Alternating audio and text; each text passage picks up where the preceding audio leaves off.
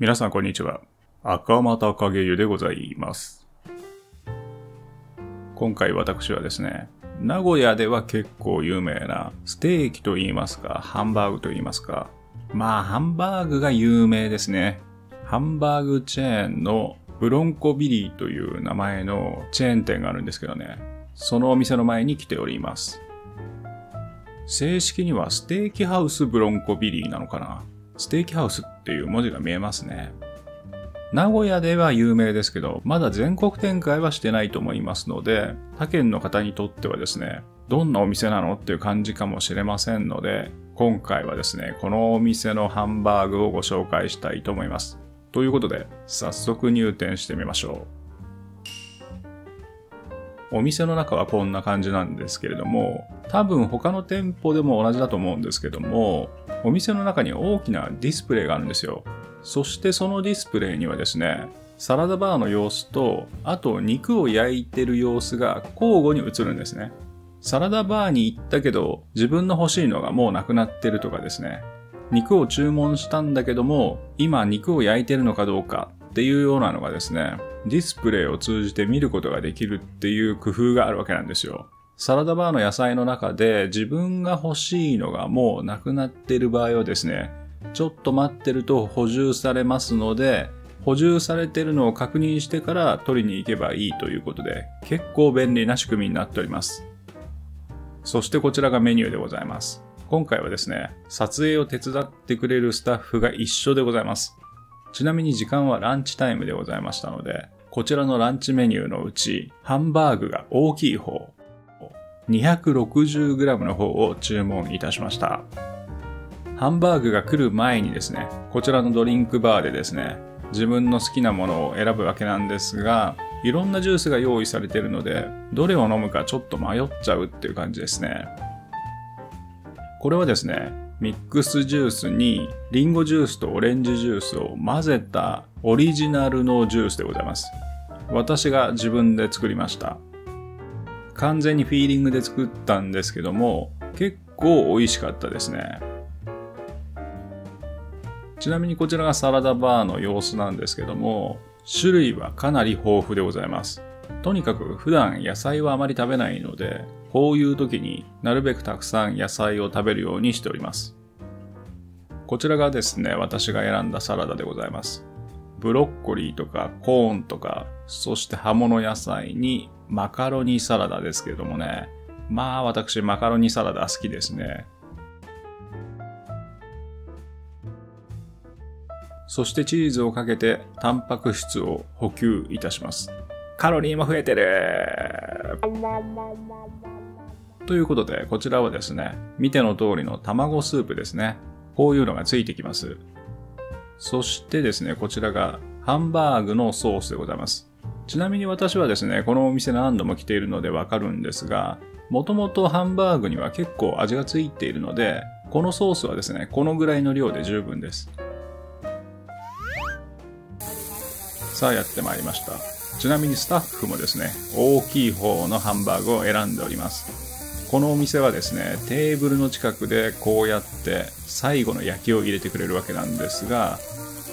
カットした断面を見ますとですね、まだ色が赤いですね。これがですね、鉄板の上で徐々に火が通っていってですね、色が変わっていきます。なので生に近い状態とよく焼きの状態の両方を楽しむことができます。さあこれが私のですけれど近くで見るとやっぱり大きいですねそしてこのお店のハンバーグはですねこの形がまた一つの特徴になってるんですよ普通のハンバーグっていうのは何て言うんですか小判型というのか大判型というのかいわゆるハンバーグの形をしてるんですけどもこのお店はですね棒状なんですよ。ぶっとい棒状になっていてそれを半分に切った形になっております。さあそしてですね今回はスタッフがおりますので違うアングルからの撮影でございます。これにちょっとソースをかけていこうと思います。今ソースをかけているのが私でございます。本当はですねこんなにソースかけなくても結構濃い味がついております。そしてこちらはですね確か英国御用達の塩って言ったかな。なんか塩もついてくるんですよ。ちょっと試してみることにしました。そしてもう一つの特徴がこちらなんですけど、このナイフがですね、すごく大きいんですね。ただその大きさが皆さんに伝わっているかどうか、画面からお伝えするのがちょっと難しいんですけども、ものすごく大きいナイフがついてるんですよ。そしてですね、こちらが断面ですけども、まだちょっと赤い部分が残ってるかなっていう感じですね。これはですね、以前食べた爽やかとは結構違いますね。爽やかの場合は結構最後まで赤い部分残っておりますが、このお店はですね、しばらく経つと赤い部分がなくなります。さあ、そしてですね、もう一度ドリンクコーナーにやってまいりました。今度はですね、カフェラテなどいただこうかなと思ってるわけなんですけども、それっていうのはもちろんデザートと一緒に飲もうという魂胆なのでございます。実はサラダバーの一角にちょっとしたデザートも置いてあるんですよ。なので、ハンバーグを食べた後はコーヒーとデザートの時間が待っているわけでございます。こちらはですね、柑橘系のシロップなのかな？ジャムなのか、ちょっとその辺何て言っていいかわからないんですけども、透明なゼリーに甘いシロップのようなものがかかっているものがありましたので、ちょっとだけ試してみることにいたしました。そしてこちらがですね、コーヒーゼリーと先ほどのカフェラテでございます。このコーヒーゼリーはですね、結構単体では苦味が強いんですよ。いかにもコーヒーゼリーっていう味なんですけども、それにこの白いクリームのようなものを乗せるとですね、ちょうどいい味わいになるんです。この白いクリームがですね、結構甘いんですよ。そしてこの苦いコーヒーゼリーと相まってちょうど良い大人の味といいますかね。そういう絶妙なハーモニーを醸すわけでございます。